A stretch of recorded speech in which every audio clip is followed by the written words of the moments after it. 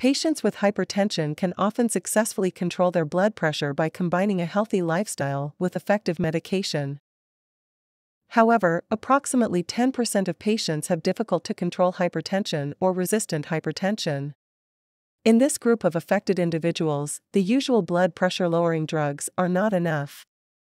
Their blood pressure remains high despite receiving at least three antihypertensive medications of different pharmacological classes, including a diuretic, at optimal doses.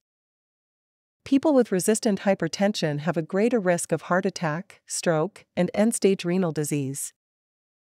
Existing research suggests that resistant hypertension may arise because current treatment options fail to address relevant pathophysiologic mechanisms adequately. This includes the endothelin pathway, which plays an important role in the development of the condition.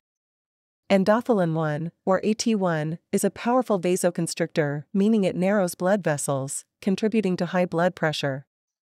It also induces neurohormonal activation, vascular hypertrophy and remodeling, cardiac hypertrophy and fibrosis, and endothelial dysfunction.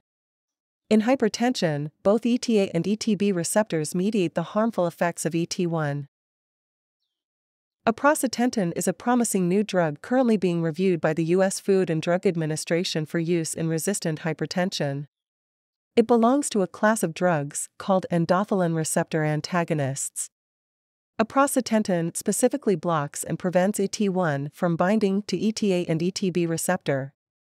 This causes blood vessels to relax and reduces blood pressure. Endothelin receptor antagonism offers a different mechanism of action compared to traditional medications, potentially providing a new option for patients who have not had success with other treatments.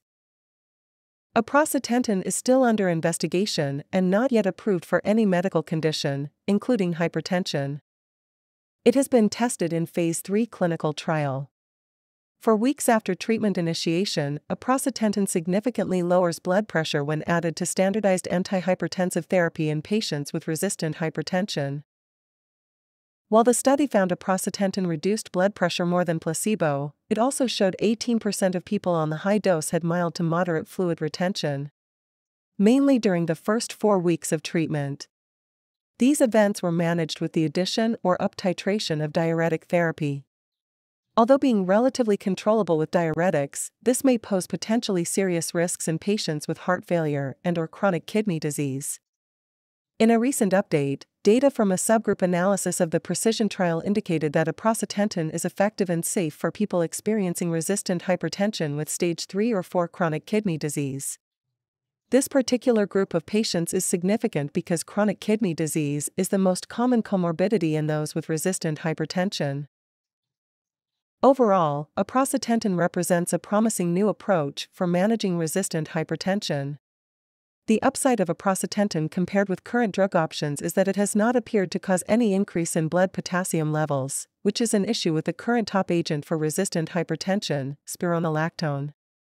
While further research is necessary, aprocitentan offers hope for improved blood pressure control in this challenging patient population. And that's it for today's pharmacology video. If you enjoyed this video, please give it a thumbs up and subscribe to the channel for more pharmacology content.